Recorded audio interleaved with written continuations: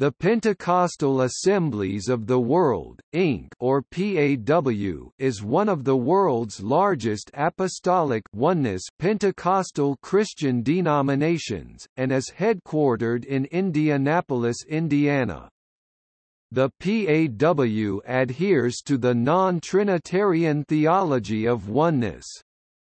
While it began in 1906 with Trinitarian beliefs, it was reorganized in 1916 as Oneness Pentecostal, thus making it the oldest organization of this type.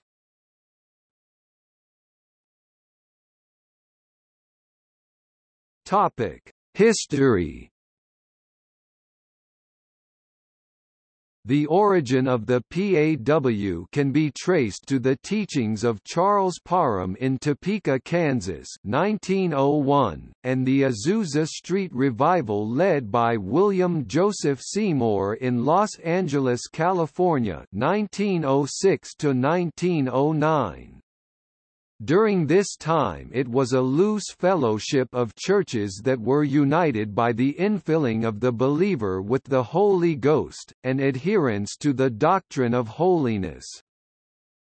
For the next few years, the Pentecostal assemblies of the world focused upon general meetings and the development of its organizational structure. The late Bishop Morris E. Golder wrote, the original organization bearing the name of the Pentecostal Assemblies of the World came into existence in the year of 1906 in the city of Los Angeles, state of California.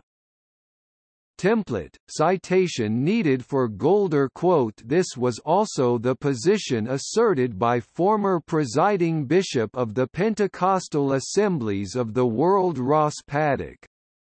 He declared that after one year of being organized, the Pentecostal Assemblies of the World had its first annual business meeting and that, at the same time, it was Trinitarian in its doctrine and liturgy of water baptism. According to Dr. David D. Bundy, a Pentecostal historian at the Christian Theological Seminary, as early as 1907, a white Baptist minister in Los Angeles, was preaching non-Trinitarian water baptism in the name of Jesus. According to Dr. Deborah Sims LeBlanc, William and Maggie Bodan, the parents of former assistant presiding Bishop Frank Bodan, were baptized in the name of Jesus after the Azusa Street Mission Revival 1906 -1909.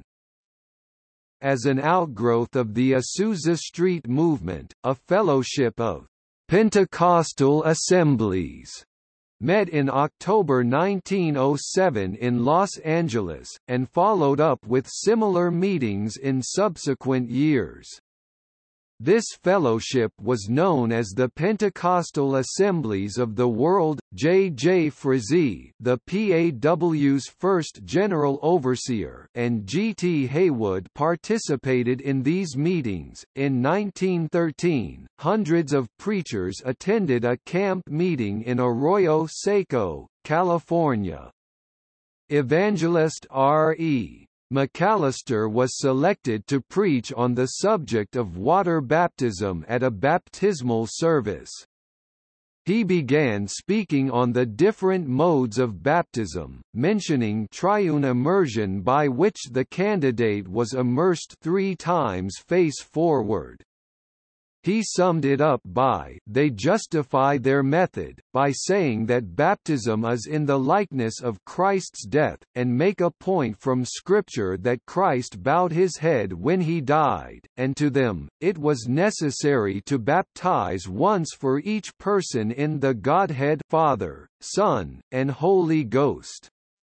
He concluded his message abruptly by saying that the scriptural answer to this was that the apostles invariably baptized all their converts a single time in the name of the Lord Jesus Christ, and the words Father, Son, and Holy Ghost were never used by the early Church in Christian baptism.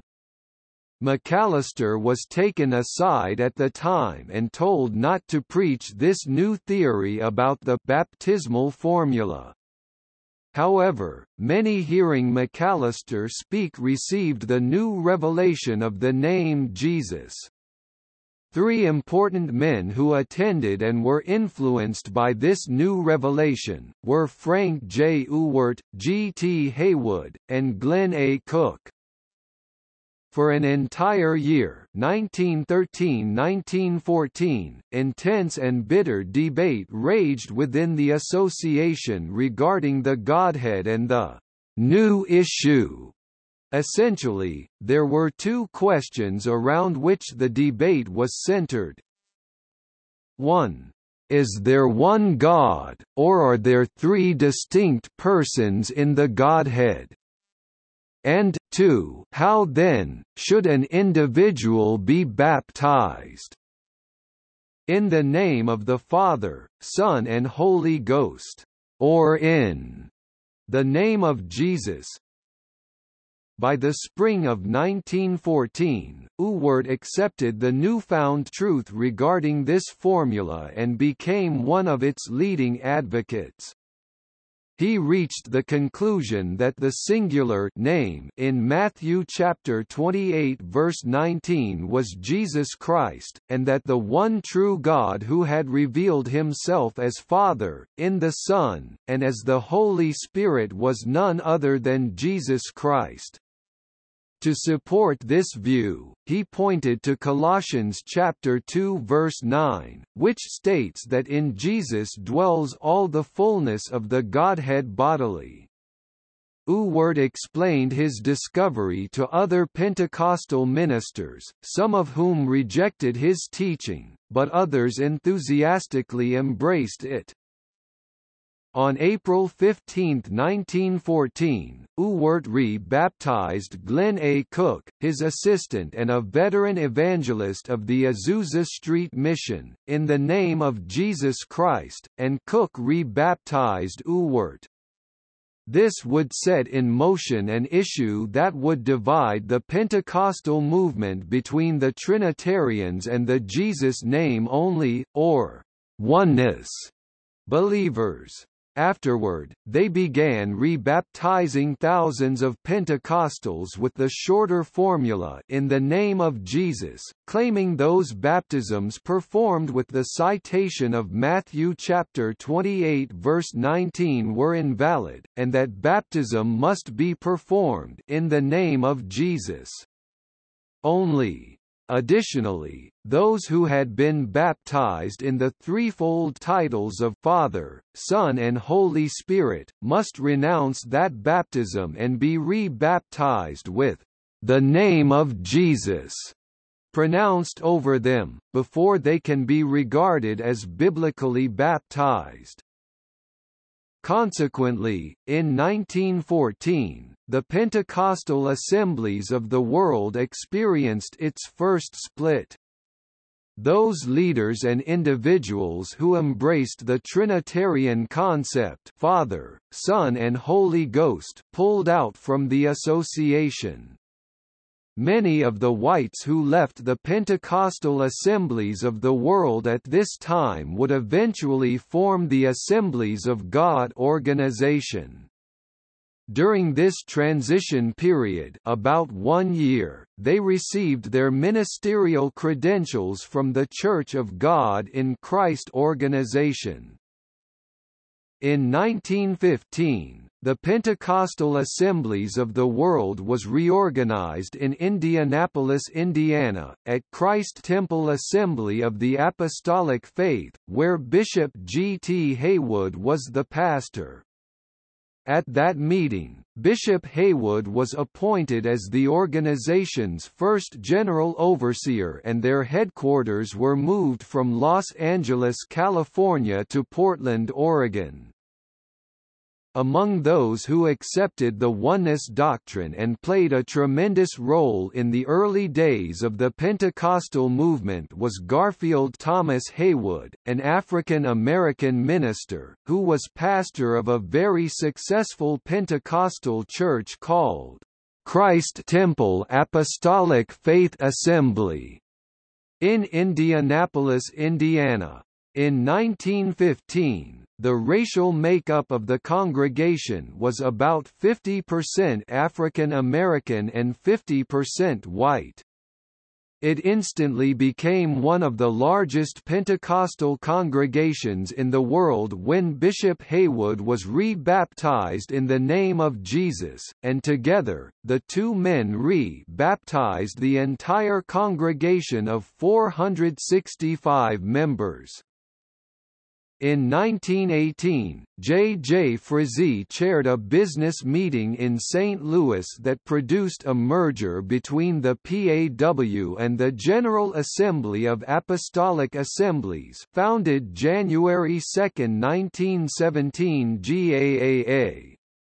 The newly merged group retained the name Pentecostal Assemblies of the World. Later that year, E. W. Doak became chairman and W. E. Booth Clibborn, grandson of the Booths who founded the Salvation Army in London, became secretary.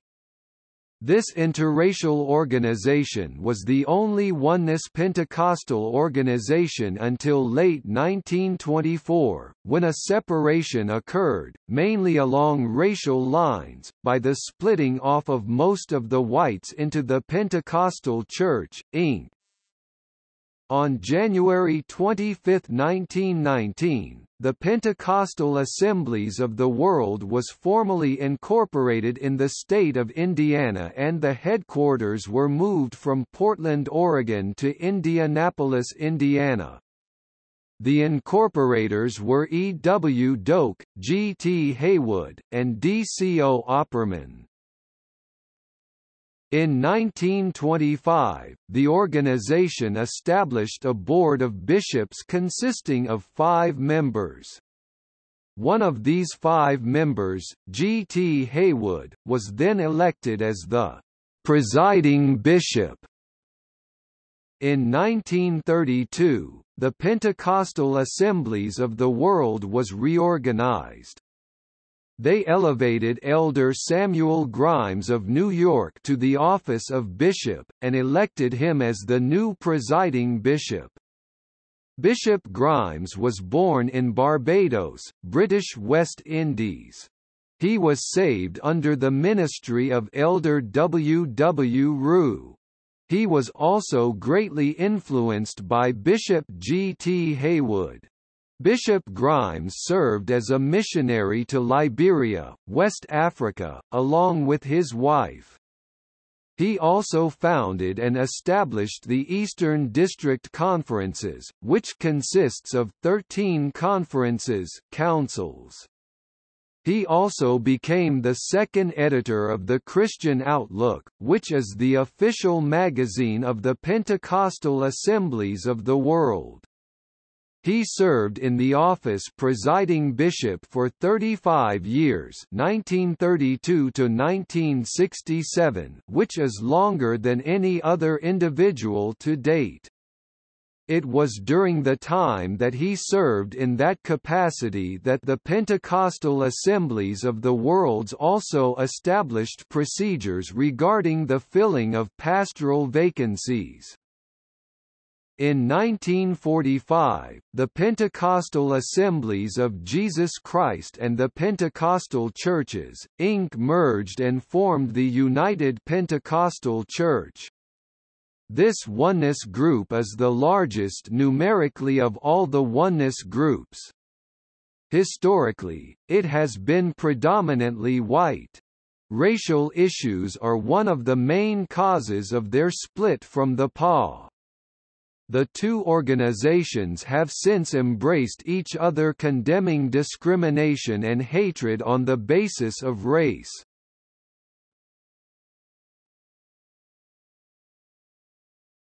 Topic: Leadership and organizational structure. While William Joseph Seymour is considered the initial founder, DCO Daniel Charles Owen Opperman, E. W. Doak, and Garfield Thomas Haywood were the initial incorporators. J. J. Frazee was elected the first head and was titled, "'General Overseer' The head of the organization held the title of General Elder or General Overseer until 1925, when it was changed to presiding bishop.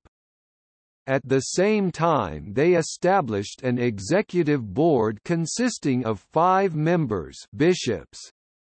G. T. Haywood, one of the five members, was elected as the first presiding bishop.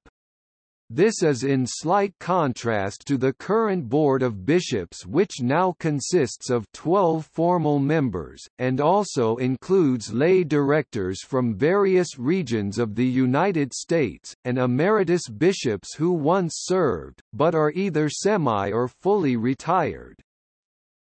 While the original intent for replacing «overseer» with the word bishop for this role may not have been to signify an additional tier of leadership above that of a pastor, this tradition has become sanctioned organizational doctrine. In essence it has served to redefine the meaning of the word, by making it distinct from shepherd, pastor, overseer, which is contrary to New Testament doctrine where bishop is used as a synonymous term. Conversely, there are no formally acknowledged apostles and only rarely is the title prophet used by those in the ministerial ranks in this day, and both titles are absent from the current leadership structure.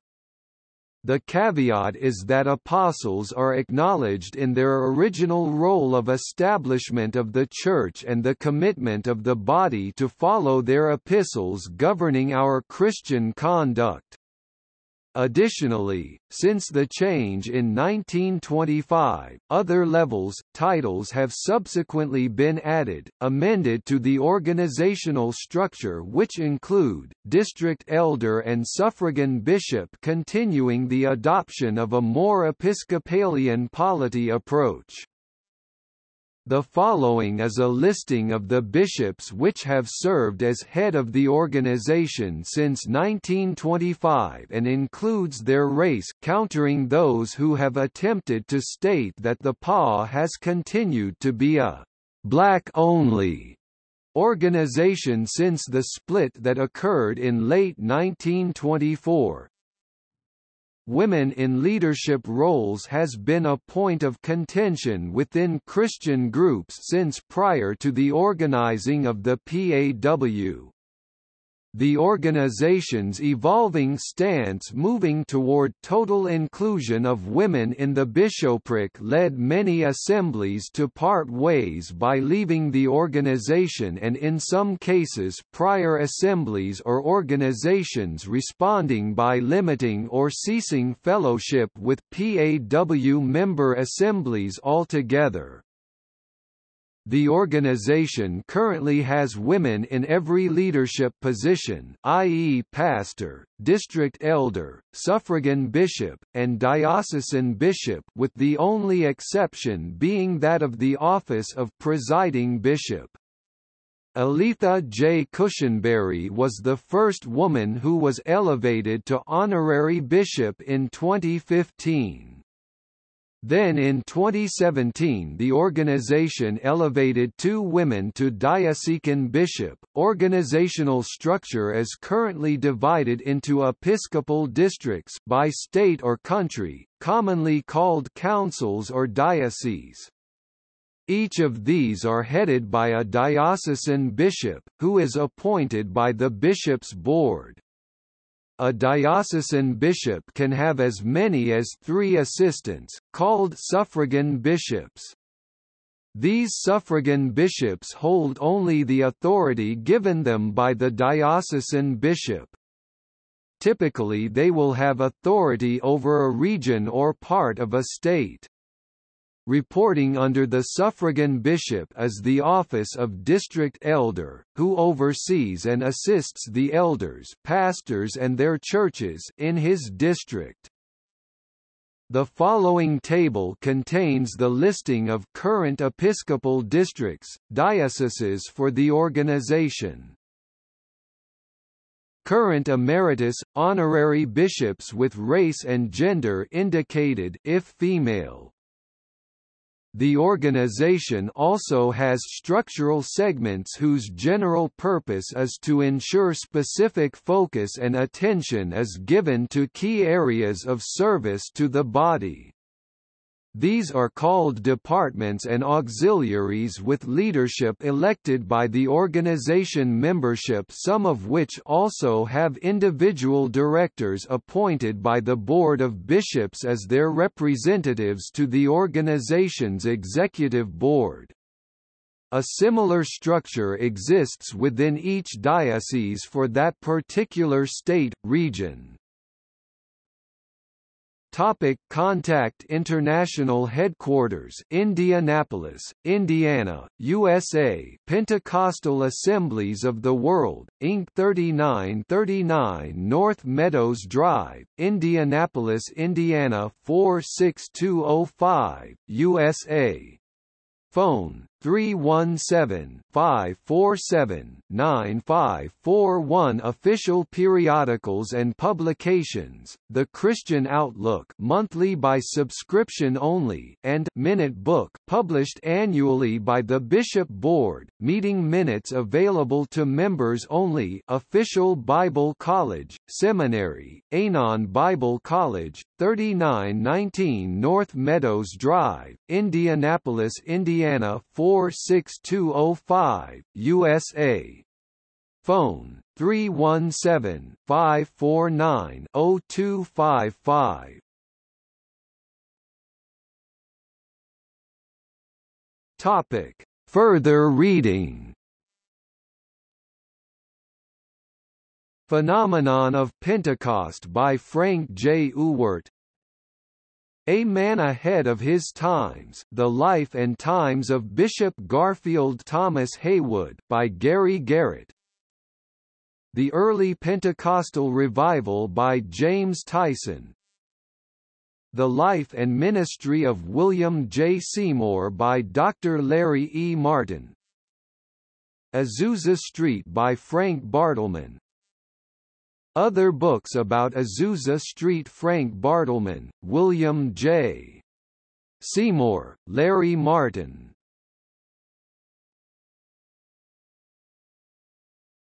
Topic. See also Christianity in the United States